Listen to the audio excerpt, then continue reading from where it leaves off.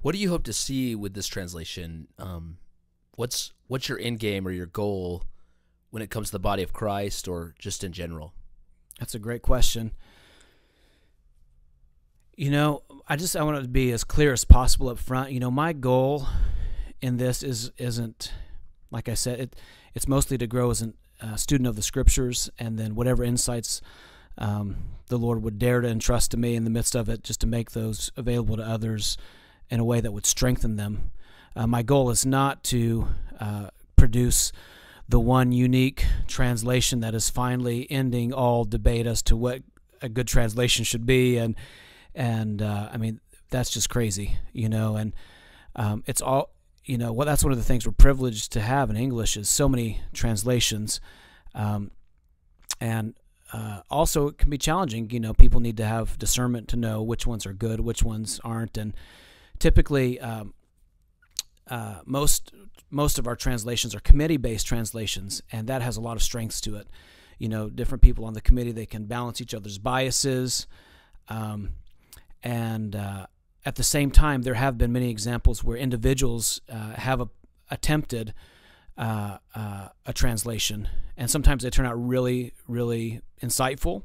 You know, you think of um, just uh, Darby, you know, and they, they have their own different translation approaches and and several others. You know, you read a Young's literal; it's very, very literal translation in terms of trying to capture, carry the syntax from Greek over into English, and it's um, it, it can be a little wooden, but you know, there are some people that would like to kind of dive into that that style of translation to get a feel for the structure more of Greek than of English actually they're two different kinds of languages and so to assume one structure into the next leads to a lot of problems. But uh, but you know there have been a number of individuals who have attempted translations and you know Tyndale Wycliffe you know they got burned at the stake. I'm definitely hoping that doesn't happen. Uh, but uh, in those situations, you know, it's obviously a little bit different, you know, than 21st century America, where we've got all these different translations and and things like that. And uh, but um, there have been individual translations where where, where great where insight can be gleaned. Um, but obviously, even those guys, their goal isn't to try to have insight, and that's not that's the point. Is is that the gospel itself um, is full of truth um, concerning the way we need to live our lives, concerning the way we need to relate to other people. And so the goal isn't to be the most unique. The goal isn't to have insight. The goal is not just to replace. The goal is to effectively communicate the gospel, really. And one thing that I've really been I've been struck by in the midst of this process is that each of the, the translations that we have today in, in English, a lot of them have real strengths and others uh, some some have certain strengths in some areas and others have strengths in other areas. For example, um, the the international standard version it's a relatively newer version. I can't remember what year it came out, but they really have done a. Uh, they've you can tell they've they've made conscious efforts to try to integrate into the translation or to express uh, what Greek scholars would call verbal aspect. You know whether process is is portrayed as uh, uh a snapshot event you know they, they, it's not necessarily talking about just a one-time event or this or, it doesn't make much comment on the actual kind of action but it's the way the, the action is portrayed by the writer. Uh, uh, there's different kinds of verbal aspect you know and in english you know you have the present continuous you have the present habitual uh, you know customary type of thing. There's all kinds of you know without going into the details of, of the grammar on that but the point is that the the ISV has made a, a, you can tell when you're reading their translation they've really put a lot of thought into how do we capture the kind of action that's happening uh, as expressed and uh, presented by by the, the the author of the whatever letter or, or book.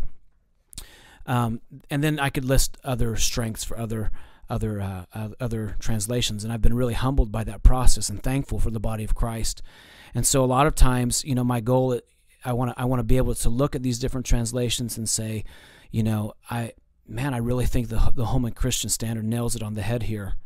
And in that case, you know, my goal wouldn't be to create some kind of unique translation, but just simply to to arbitrate in a way that makes sense to me based on what what I understand as either the most effective way of communicating it or the clearest or more most accurate. And obviously, I'm making decisions in that process, um, but that's just kind of the nature of translation. And so, trying to ask for humility and grace to engage those perspectives well. Um, so, the, the the fruit that I'm hoping to see from it is simple: that people would fall in love with Jesus more, that uh, that it would bear uh, that would just be a clear communication of the hope that uh, you know and more any, more than any other time in history, just having real clarity as to what we're whole, we're we're clinging to in the midst of great pressure and trials and difficulties.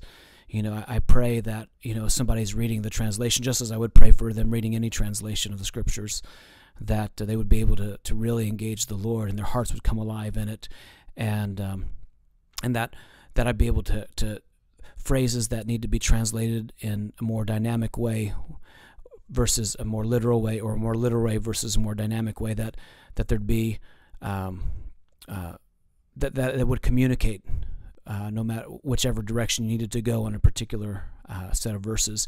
But really that people would be able to stand before Jesus and that that uh, and that as, as a fruit of maybe engaging this translation along with other translations um, that they'd be able to uh, to uh, to love the Lord more follow Him wholeheartedly, have clarity about the gospel, and and to walk it out. Um, so I mean that's really that's really the main goal.